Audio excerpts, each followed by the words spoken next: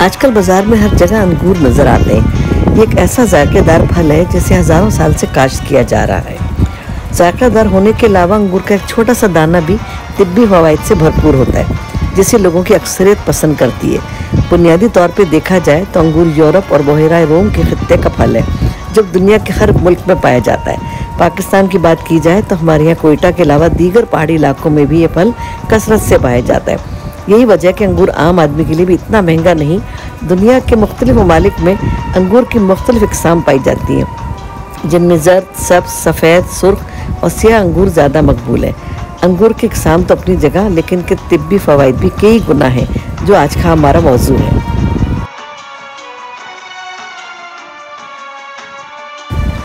इरशाद रब्बानी है, और हमने इसमें खजूर अंगूरों के बाग पैदा किए और उसके अंदर से चश्मे फोड़ निकाले। ताकि इसके फल खाएँ सूर यूनस।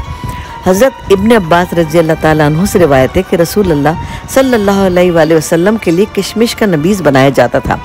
आप सल्लल्लाहु अलैहि वसल्लम इसे दिन भर पीते और दूसरे दिन भी पिया करते और तीसरे दिन भी शाम तक। फिर जो बचता तो खिदमतगारों को पिलाया जाता या बहा दिया जाता।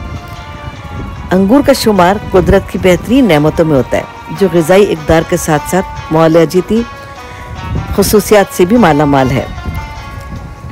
अंगूर कसीरगज़ा जूद हज़म होता है। ये सवाल खून पैदा करता है और मुसफ़ी खून भी है।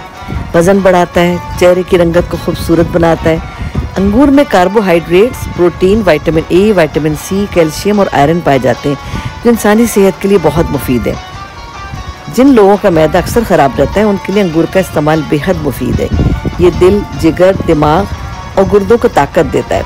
सीने के जुमला अमराज में अंगूर बेहद मुफीद है। फेफड़ों से बलगम के अखराज के लिए अंगूर बेहतरीन दवा है। खांसी को ख़त्म करने के लिए अंगूर के रस में शहद मिलाकर चटाना मुफीद होता है। अंगूर का जूस या रस पीने के बाद पानी हरगिज़ नहीं पीना चाहिए। अंगूर के फ़वाद की फहरिस्त बहुत तवील है। छोटी सी वीडियो में शामिल नहीं हो सकती। इन जल्द आपको अंगूर के बीज और पत्तों से हासिल होने वाले टोटके के बारे में बताएँगे।